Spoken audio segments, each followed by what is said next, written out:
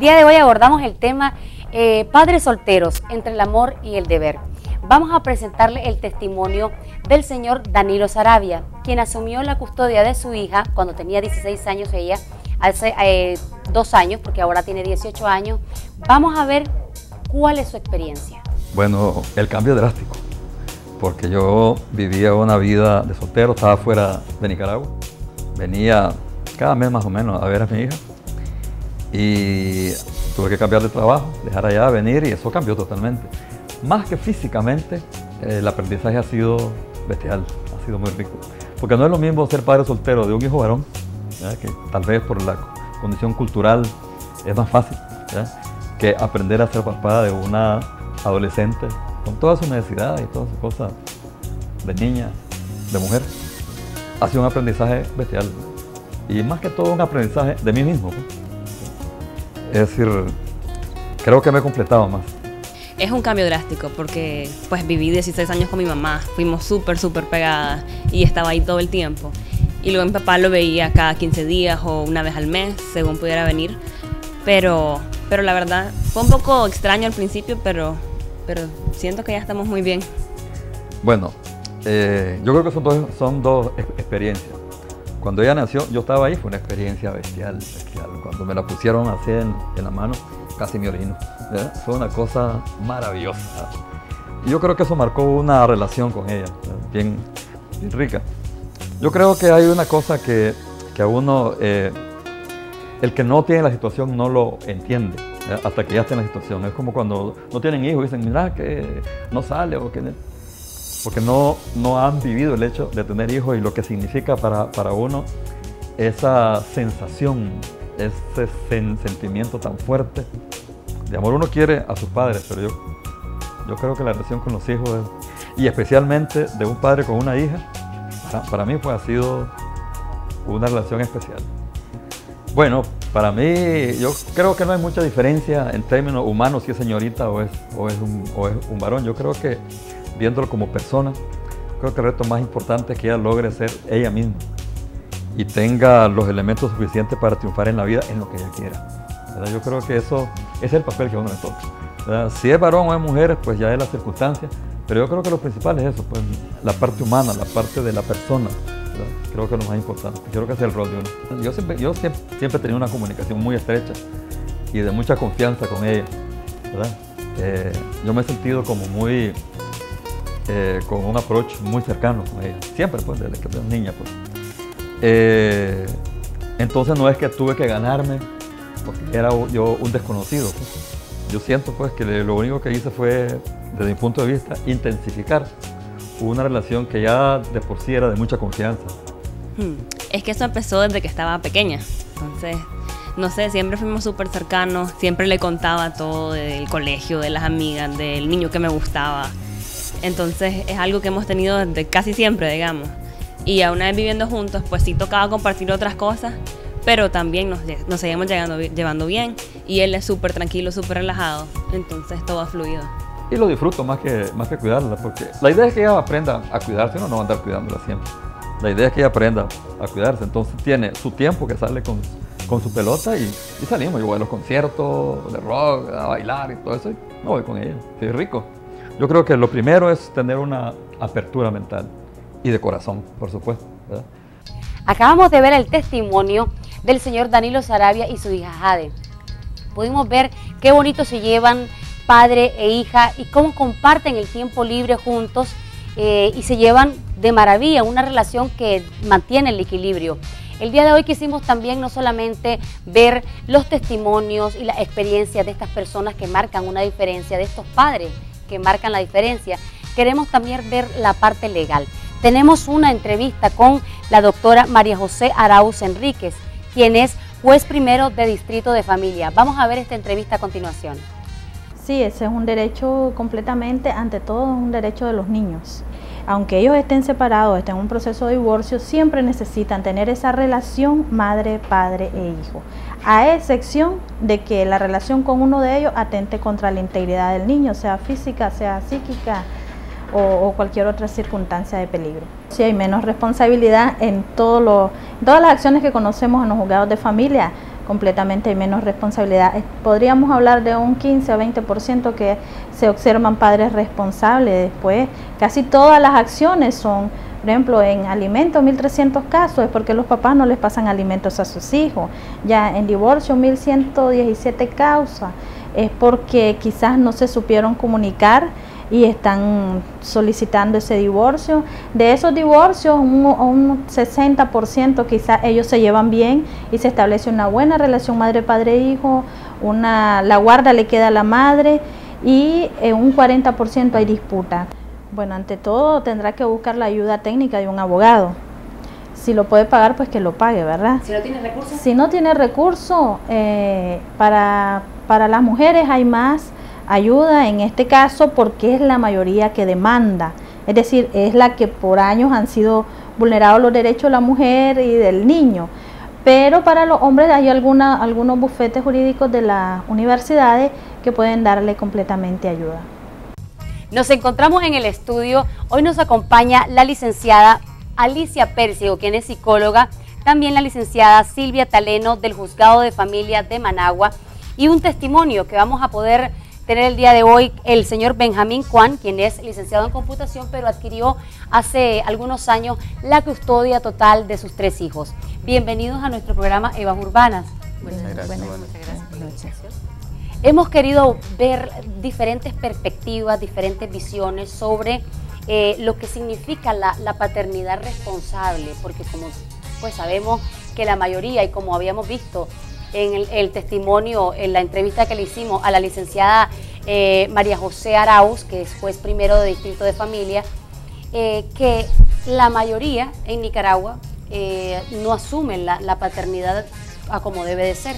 Estamos hoy resaltando la minoría, esos padres que sí asumen la responsabilidad de ser padres ejemplares, padres que no solamente se preocupan por el alimento, sino también por la parte emocional de sus hijos. Licenciada Pérsigo, ¿cuál es la diferencia que existe entre cuando el hombre asume eh, la paternidad responsable o cuando la mamá la asume? ¿Cuál es la diferencia en el comportamiento con los hijos? Eh, básicamente el comportamiento no debiera de ser tan diferente, ¿no? Porque ¿qué es lo que le van a dar los padres a los hijos?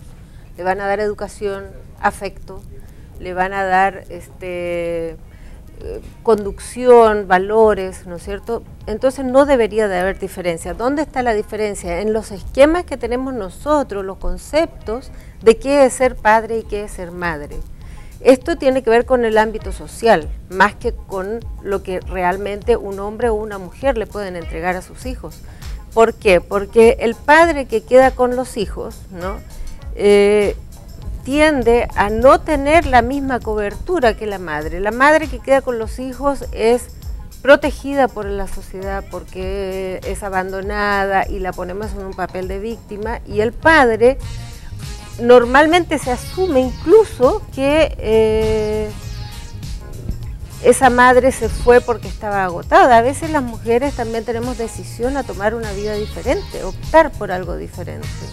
Por ejemplo, cuando el padre queda de repente. Hemos visto casos, hemos visto por ejemplo el testimonio que vimos previamente de un señor que quedó bajo la custodia de su hija de 16 años. Eh, bueno, la, madre eh, se murió lamentablemente y él tuvo que asumir ese rol. Cuando hay padres, por ejemplo, que por una situación abrupta, ya sea de fallecimiento de su expareja o de su esposa, eh, o por factores de que se tiene que ir a trabajar fuera en el extranjero, asume el rol ¿A qué retos se enfrenta? Bueno, primero es un rol que no estaba asumiendo antes, normalmente es una cosa, es una crisis, ¿no? Es un caos y además hay, en este caso, que es un duelo, ¿no? Que hay que, hay que hacer todo un proceso de duelo, además asumiendo responsabilidades que yo no sé ni cómo eran porque no las conocía en realidad. Entonces, eh, normalmente esto tiene que ver con nuestras generaciones, ¿no? Los jóvenes están asumiendo la vida de otra manera y asumen a los hijos de otra manera y les entregan eh, su tiempo, a sus actividades y están con ellos. Incluso como las mujeres trabajan, salen a trabajar y los padres se quedan en la casa con los niños. ¿no? Entonces, ¿por qué? Porque ahora no es un problema que el hombre tiene que proveer. A veces el mejor sueldo es el que va a quedar y el otro cuida a los bebés, incluso con los adolescentes. ¿no? Entonces ha ido cambiando. Para los que nos tocó otra generación y nos tocó un poco otro concepto, es muy complicado de enfrentar una situación como esta. O sea, eh, este señor, la verdad es que con una niña de 16, que además está en plena adolescencia, tiene que haberle costado un poco. El problema es que tiene que ver con el afecto y con la disposición. Sí, eh, licenciada Taleno, usted trabaja en el, en el juzgado de la familia, juzgado de la familia. Usted a diario se encuentra con situaciones, con casos de mediación eh, y esos juzgados se mantienen bastante llenos. Sí. Mm, es la primera vez que nos comentaba la licenciada eh, Arauz, la, doctora más bien Arauz, que se, que se crea esta, este juzgado de familia. Usted en su experiencia de, enfrentarse todo el tiempo con casos de este tipo, ¿cuál, ¿cuál cree usted que son las consecuencias de que no haya una mediación entre padre y madre en equilibrio con los hijos? Mire, las consecuencias que se van a dar van a ser en torno a que pasan a un proceso de juicio, donde ahí eh, las relaciones parentales, los padres empiezan a tener una batalla, una batalla en la cual quién se va a tener a los hijos, quién va a ser el que va a tener los hijos como, como un trofeo, prácticamente así lo hemos categorizado. Eh, es una lucha de poder, incluso el que tiene los hijos va a ser el que tenga poder económico, suponen ellos, ¿verdad? Porque lo ven desde la perspectiva de adultos y no la ven desde la perspectiva de un ser humano, de un ser sujeto de derecho, que son el niño y la niña. Y empieza un estira y encoge de adultos, ¿verdad? En la cual eh, la, la voz del niño o los sentimientos del niño en la mayoría de los casos no lo toman en cuenta. Y es ahí donde eh, las juezas eh, de los juzgados de familia se apoyan de equipos, ¿verdad? Especializados, en este caso de psicólogas y trabajadoras sociales, para entender muy bien qué pasa en esa familia y sobre todo la realidad, cómo está viviendo el niño esa situación de familia en conflicto. ¿Cuáles son, por ejemplo, me comentaba también la jueza, de que a veces los padres están en esa mediación y, ella estaba viendo en un momento dado que el papá le estaba diciendo a su hijo, ¿con quién te vas? ¿Con tu papá, con, tu papá o con tu mamá? Entonces yo digo, ¿qué tipo de, secuela deja el hecho de que los padres en algún momento dado le digan al hijo, ¿con quién te vas a ir? ¿Con tu papá o con tu mamá? ¿Qué secuela deja eso en un hijo? Mira, la verdad es de que es grave el asunto, porque es, una, es un conflicto interno que tiene el niño de toma de decisiones en la cual él quiere a los dos padres. Él no se quiere separar de los dos padres. Son los padres que se están separando como pareja. Y él no debería de tomar esa decisión porque está jugando eh, una situación de lealtad. O sea, él quiere a los dos y le están diciendo, no es la pregunta con quién te vas, sino con quién vas a ser leal. Y entonces eso es gravísimo para él. Es muy grave, es una cosa muy pesada a, una corta edad. A veces son, son padres que son bastante jóvenes, estamos hablando que a veces son 22 años, 25 años, más o menos por ahí anda el asunto, e incluso pues mayores, por supuesto. Eh, pero, a ver, este tema realmente que es bastante fuerte, eh, yo considero que las secuelas deben de ser incalculables, porque como usted menciona, ¿qué puede pensar, qué puede sentir un niño cuando se, se decidió tal vez con su mamá porque su papá trabaja mucho, pero que quiere mucho a su papá y el papá a veces como que resiente un poco y se aleja. ¿Qué pasa con eso, por ejemplo? Mira, le genera muchos sentimientos y sobre todo sentimiento de culpa, en el cual puede decir, yo soy culpable de una situación en la cual mi papá se, se separó de mí porque yo lo rechacé. O sea, juega mucho la culpa, el rechazo, eh, genera en él muchas cosas que él no es responsable, él en ningún momento es responsable de todo lo que está sucediendo en su familia. Eh, genera en él eh, condiciones emocionales que a veces pueden caer en situaciones depresivas, pueden tomar decisiones de escapar del hogar o de tomar decisiones incluso de, de intentos suicidas. El, in- el- el impacto Cuando en la, la sociedad es es tan grande, como pueden ver ustedes, ¿a, a qué se debe ese embarazo temprano de las niñas? ¿A qué se debe tanto alcoholismo y tantas cosas en la juventud? Bueno, en parte tiene que ver con todo esto. El día de hoy nos acompaña don Benjamín Juan. Don Benjamín, usted vivía en Costa Rica cuando eh, tuvo que asumir el rol completo de papá y mamá porque su ex esposa decidió darle la custodia total de sus hijos. Cuéntenos su experiencia. Bueno, es algo que pasamos allá cuando vivíamos juntos. Ella consiguió un trabajo y prácticamente el trabajo solamente eh, no le daba, bueno, prácticamente no le daba tiempo para pasar con la familia. Porque ella entraba a las 10 de la mañana, salía a medianoche o a veces llegaba más tarde, prácticamente en la madrugada. Y los hijos, mis hijos, no pasaban con ella. Entonces yo con el trabajo que tenía, a veces tenía que abandonar mi trabajo, dedicarme a ellos, verlos en cuestión de, de su salud, de ver cómo están, su seguridad, su alimentación, porque todo eso tenía que estar al tanto yo de ellos. Y eso me, fui, me fue ayudando para ganarme a mis hijos, que a la hora de la separación, ellos tomaron la decisión de venirse conmigo para Nicaragua. ¿Usted siente que ha habido eh, cierto vacío o cierta, cierta carencia por el hecho de que ellos vienen a Nicaragua a estar con su papá, pero ya no están con su mamá? ¿Siente usted que ha habido alguna secuela o- o no? En las niñas, porque son, mis tres, son tres hijos, ¿verdad? ¿Qué edades tienen?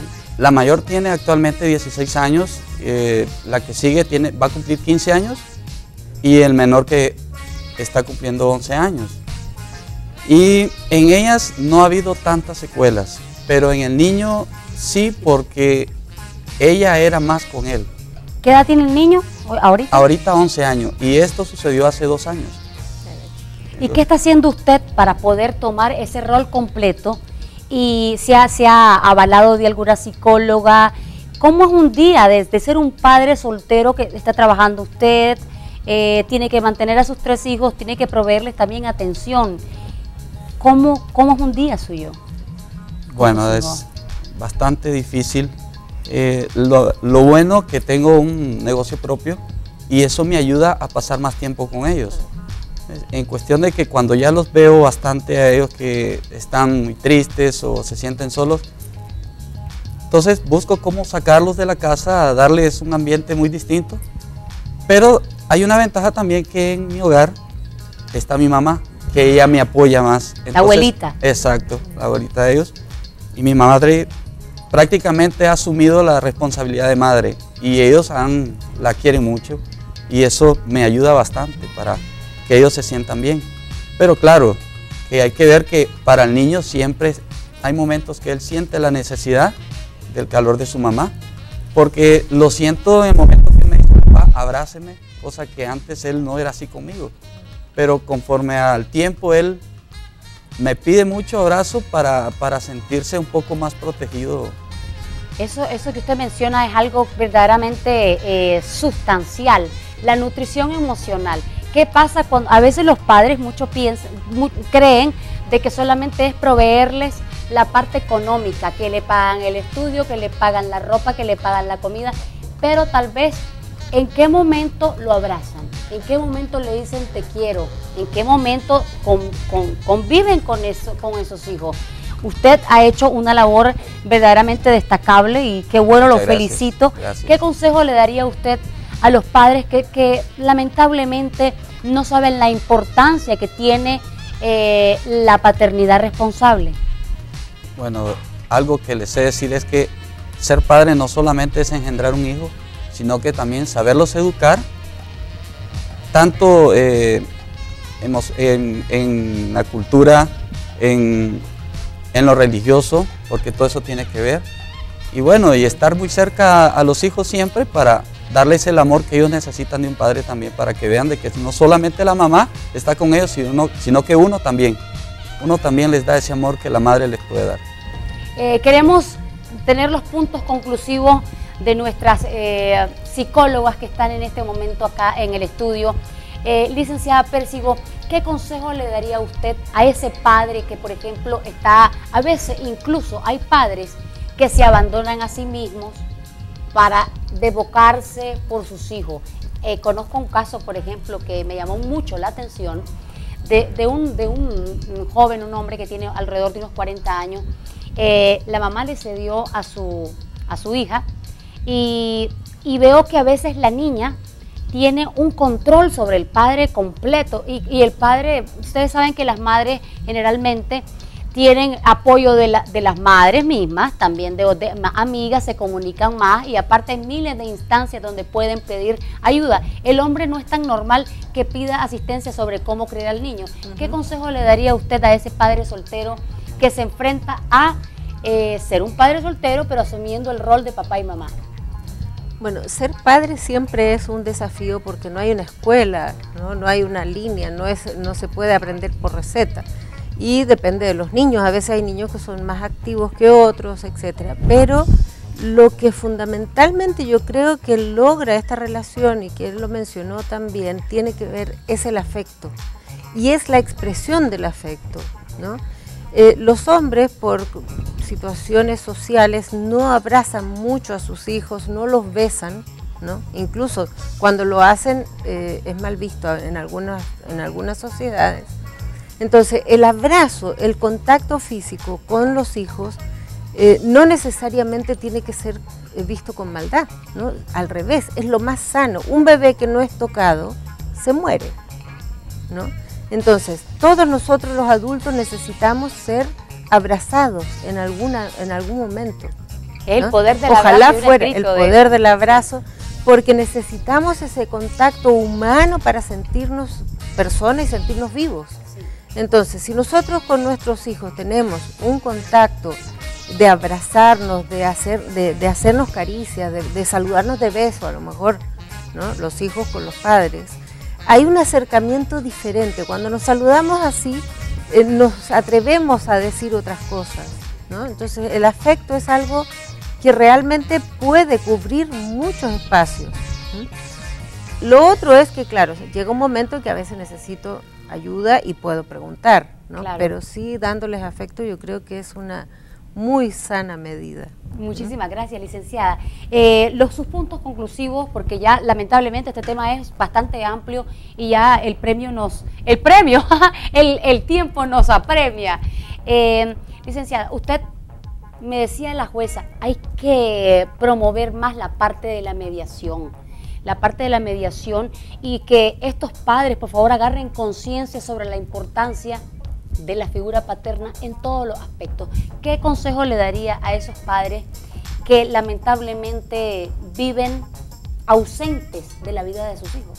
Bueno, el principal consejo que yo le daría a los padres es que en una situación de mediación no tienen que llegar a mediar sus intereses, sino que tienen que llegar a mediarle el interés superior de sus hijos no es ponerse en el lugar de ellos como adultos, sino de tratar de ponerse en el lugar de sus hijos. Recordar eh, en la etapa de desarrollo que ellos tuvieron, tal vez un buen ejercicio, qué necesidades tenían en ese momento, cómo eran sus padres y tal vez eh, qué, qué, padres perfectos desearan ser ellos también, porque todos queremos ser buenos padres.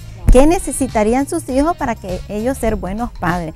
Entonces, el consejo más práctico que yo les daría sería eso, ubicarse en el zapato de sus hijos y, negociar por sus hijos, no por sus intereses como adultos.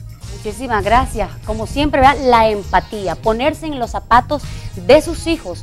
Eh, muchísimas gracias. Este, yo de verdad que me siento muy orgullosa de que haya padres como usted, padres responsables Muchísimas gracias, licenciada, por habernos asistido psicológicamente en este tema tan grande. Vamos a tener otros programas donde podamos detallar un poco más otra serie de, factores que afectan a la sociedad.